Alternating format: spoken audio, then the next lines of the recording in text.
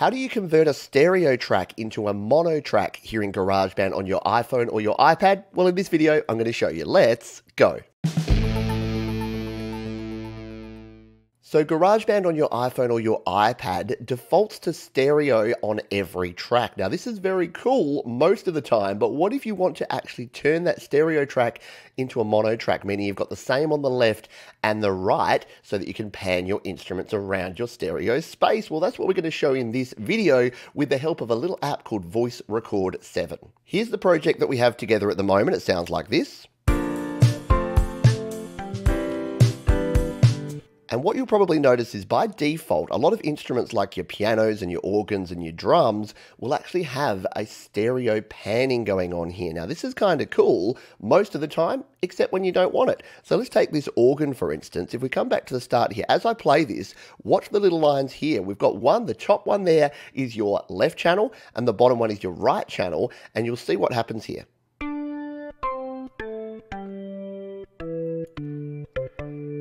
So can you see there that when I'm playing a higher note or when it's playing back a higher note, it's on the right channel and a lower note's on the left. Now that's deliberate and that's kind of cool because it gives you that nice stereo effect. And the same is for your piano and for drums. It'll actually put the different drums in the different parts of the stereo field. If you don't want that though, and you want it to be mono, there's no way right here in GarageBand to do that. However, what we can actually do is if we solo one of these tracks, let's use the organ to start with. We solo the organ and we export this as a WAV file. We can use voice Record 7 to convert it from stereo to mono. Let's do that now. So with the track soloed, we're going to go out by tapping in the top left corner here. Here is the name of my project. I'm just going to tap and hold on this one and then I'm going to go down to share. I'm going to share this as a song file and I'm going to share it as uncompressed wave, the highest quality that I can, and then hit the share button here in the top right corner.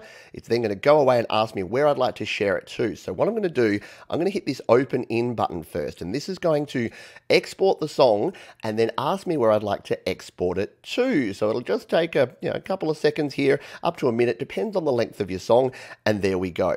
Now we can actually choose where we want to export it to. Now, one place that I use a lot is AudioShare. That has a great converter and can convert from stereo to mono, but it is a paid app. So if we want a free way to do this, if we scroll across the top here and we go to more, there is actually an app called Voice Record 7. If we scroll on down and look for it, it's a little yellow icon. Can we find it?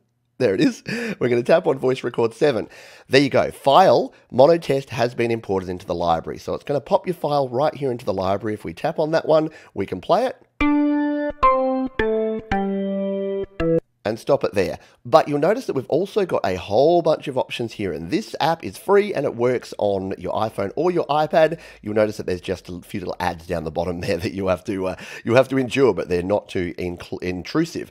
Now, if we scroll on down here, what we want to do is look for the advanced converter. So we're going to tap on advanced converter, and this will bring up this screen. Now, your preset, you want to start with convert to wave because we don't want to lose any quality here, so we want this to be convert to wave.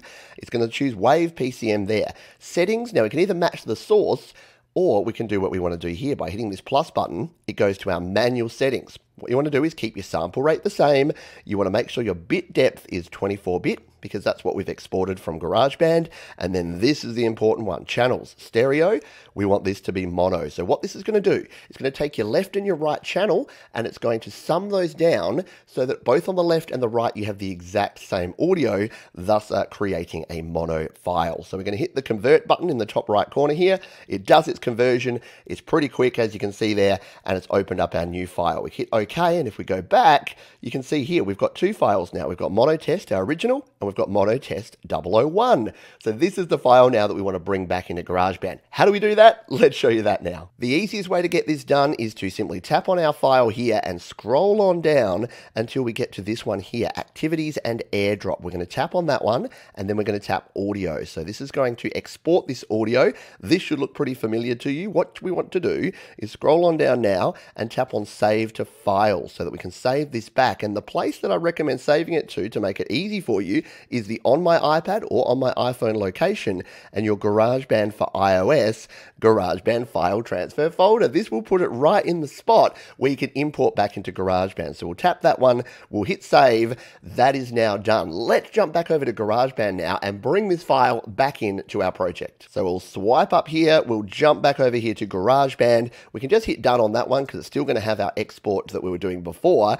But now we can go back into this mono test project. And what do you see? Yep, lo and behold, we've got a little number up here because we've added a new loop. Now, you will notice when we import this that you do lose your MIDI information. So if you're using a MIDI instrument, because we're exporting and re-importing a file, it's just going to be a WAV file. So make sure you don't want to make any further changes to your instrument or to your MIDI notes before you do this process. Let's now tap on the loop icon, and here you go. We've got both mono test that we sent out, and we've got mono test 01 that we've brought in. So this is the one we want, the mono test 01. We'll tap and hold it and drag it into our project, and boom, there it is. So if we compare this, here's our original organ with our stereo sound.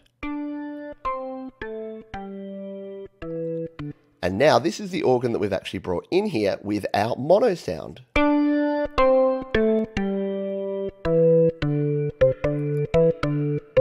Notice there is that you can see that the two channels, the left and the right, are at exactly the same level all the time because it has actually brought that together. And what you'll also notice is that the reason this is cool is that even with a stereo track like this, if we try to pan this all the way to the left, you'll notice that it'll still have some little hints in the right. That's because if there's anything like a stereo uh, delay or a stereo uh, effect that's on here, it's going to bounce it around a little bit. So if we wanted this all the way to the left,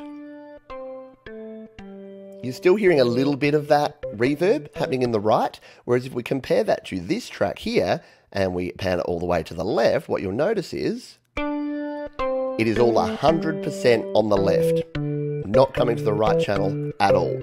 So that means that we can start panning things into different places and know that they're not going to bounce across into the other channel. The other thing you may have noticed here is it will increase the volume. GarageBand does something called auto normalization. So when you do this process, it will increase the volume and uh, that just means that you need to turn the track down when you've actually imported it into your project. Let's do this one more time just to show you how quick it is. If we'll do the piano this time, here's our classical grand. We'll solo that and we'll exit out here. We'll do the same thing again. We're going to tap and hold on this one and we're going to go to the share button here. We're going to share it as a song and an uncompressed wave. We'll wait for that one to pop up here. We're going to hit open in. It's going to export our song. Once it's finished exporting, we're going to choose where we want to send it. And I'm actually going to show you how we can set up Voice Record 7 as a shortcut so that it goes there every time. If we come over to here, like we did last time and we tap on more, then what we can actually do is see our suggestions down here. We can actually use the edit button here and we can add these as a shortcut. So if we tap on the plus button there next to voice record 7, look what happens. It puts it up here and we can even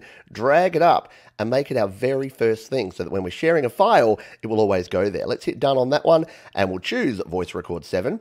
This should look familiar. It's opened that one up. We're going to go down to our advanced converter down here. We're going to once again tap convert to WAV file and we're going to go the plus button and we're going to make it 24 bit and we're going to make it mono. Now I want to show you one more thing here. You can save this as a preset. So if we tap the save button here, we can actually call this stereo to mono. And guess what? We don't need to do all that every time because now under our presets, we've actually got our stereo to mono preset. So if you ever want to use this again, you don't have to go through all those changes. It's already set for you. Let's hit convert. It's going to convert that file. It is done. And we'll just make sure that we're in the right file here. Yep, mono test 002 this time, the, the new file that we've got there. We're going to go back. Let's go to our activities and airdrop as we did before. We'll tap on that one. We'll hit audio. We'll bring it up here, and once again, we're going to save it to our files. Now, uh, it's going to take us back to uh, our iCloud, but we want to go on my iPad, and we want to go to our GarageBand for iOS file transfer folder, hit save, and that is done. Let's jump back over to GarageBand, bring it back in back into GarageBand, hit the done button there and tap off of that one, go back into our mono test and then back into our loops. And yep, you guessed it, we got this here again. So we're going to tap and drag this one in here. And now we've got our piano in there. Once again, we'll have to turn it down. Let's just solo these two now and uh, we can start mixing these in to our track. But what we want, so say we wanted to do this, we wanted our organ to be panned to the left and we want our piano panned 100% to the right. Let's play these now.